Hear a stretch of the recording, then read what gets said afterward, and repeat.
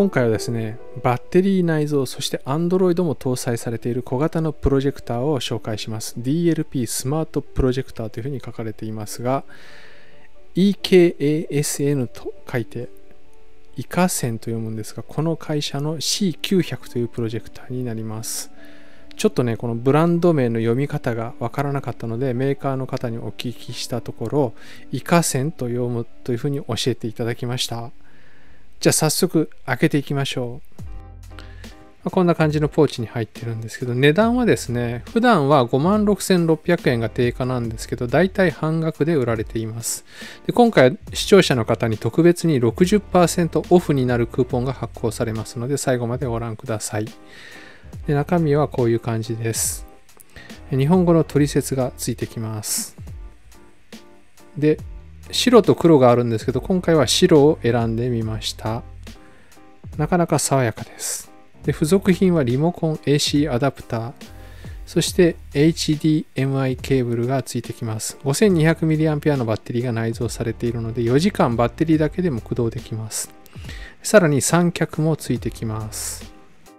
インターフェースですが背面にいろいろついています。HDMI 端子がついています。なので、まあ、HDMI 端子が搭載されたカメラであるとか Fire テレビスティックなども挿して使うことができます。でさらに USB、そしてオーディオジャック、DC 入力がついています。で USB 端子はですね、まあ、マウスをつないだりとかカードリーダーを差し込んでメディアを読み込ませたりすることに使うことができます。で背面には機械式のオンオフのスイッチが搭載されています。でさらに2つ本体にスピーカーが内蔵されてるんですが結構いい音がするような評価なのでちょっと楽しみです。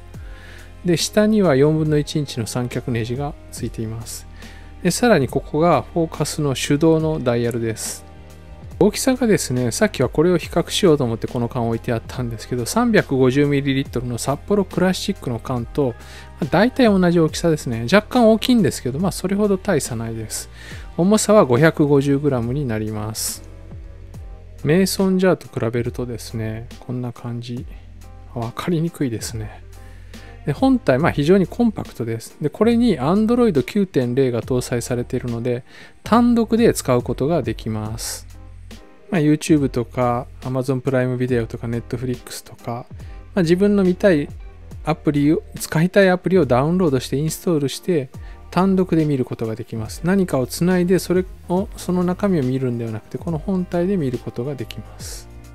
で上はこんな風になっていていろんなスイッチが並んでいます、まあ、十字キーであるとかボリュームボタンであるとか決定ボタン戻るボタンなどで、まあ、リモコンについているボタンと同じようなものがついています。でここがですね投影するレンズの部分になります。ちょっとじゃあスイッチ入れてみましょうか。で今ファンの音がねしてますけど起動の時は最大にファンが回るので結構音するんですけど実際はですねそんなに使ってる時はそんなに気にはならないですね。でフォーカス。最大が3メートルぐらいまでいけるんですけど今1メートル半ぐらい。あそんなないか。なまあそ1メートルそこそこそこの距離で映しています。ちょっとあの照明がいろいろついてるんで照明消してみます。かなり鮮明です。カーテンも閉めてみましょう。まあ、今日薄曇りなんですけどカーテン閉めるとこんな感じになります。まあ大きさで言うと今50インチのテレビぐらいの大きさでしょうかね。かなり明るくはっきり映ってます。想像してた以上に綺麗です。でここインターフェースこれこんな感じになってるんですけど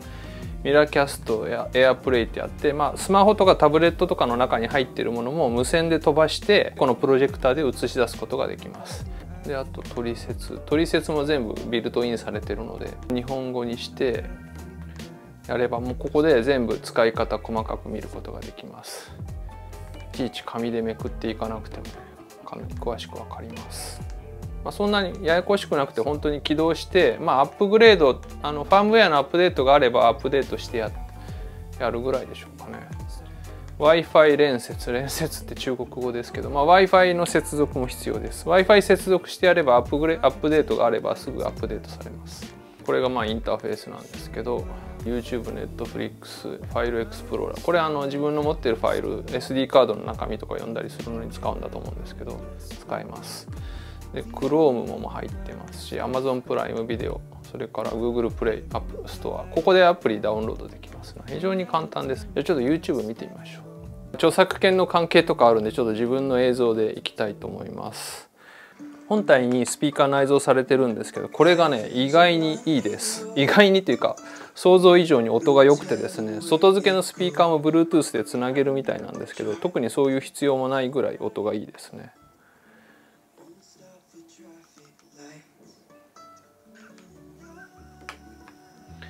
これ本当今あのスクリーンも何も使ってないんですけど普通に白い壁ちょっと白に黒い模様が入ってる壁なんですけどかなり綺麗に見えます。これちゃんとしたスクリーンとかを使えばねもっといいんじゃないでしょうかね。ちょっとこれあの撮影用のディフューザーなんですけどかなり綺麗に見えますね。黒いところも潰れたりせず髪の毛とかも見えてますし。どうせおもちゃだろうとか思ってたんですけどいやいや全然ねいい感じで普通に使えます。うちの奥さんもね最初はかなりバカにしてたんですけど実際使ったらね普通に使えるんでね驚いてました。今これ 4K でカメラは 4K モードでこの壁に映ってるのを撮影しています。はいどうでしょうか。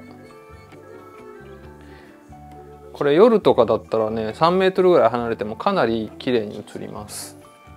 近くに行けばもちろんその分明るくはなるんですけど画面は小さくなります。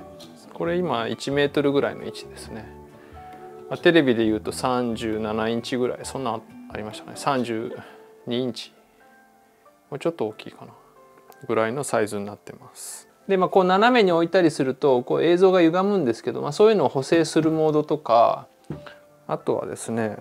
台形補正を自動でしてくれるっていうモードもついてます。でまあ家でねこんな感じで気軽にどこにでも持ってってパッて使って天井とかにも移して使えるんでまああの面白いんですけど外に持ち出して使うのにねすごい便利だと思うんですよねもうポーチもついてますしバッテリーも内蔵されてますしでキャンプに行って実際使ってきたのでその様子をねご覧ください。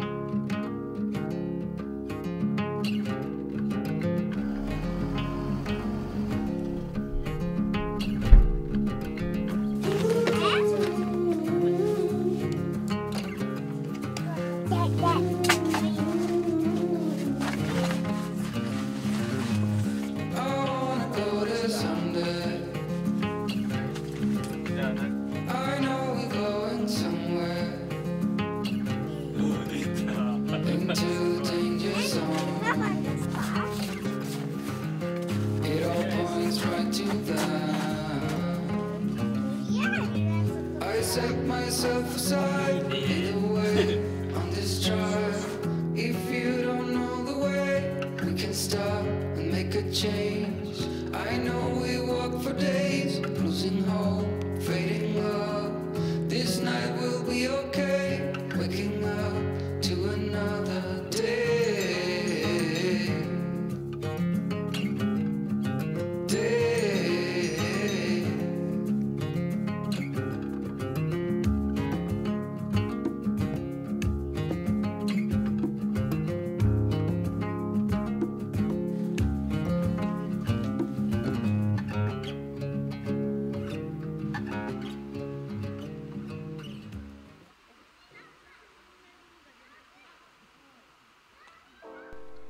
ということで今回はイカセン EKASN の C900 というプロジェクターの紹介でした。ま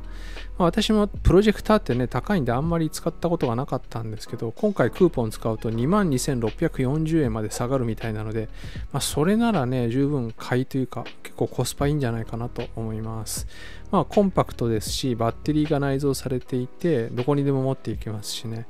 結構あの使えると思います。まあ、詳しくは下にリンク貼っておきますので、よかったらご覧ください。ということで、今回もご視聴ありがとうございました。じゃあまた次の動画でお会いしましょう。さようなら。